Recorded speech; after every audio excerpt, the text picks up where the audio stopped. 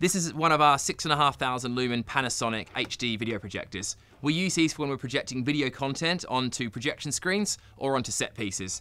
A projector of this brightness, 6,500 lumens, is good in uh, a dark room on a screen of maybe 14 foot, but if the room's more well lit, you would have less effective video content being shown. That's where we'd consider things like LED video walls or more powerful projectors.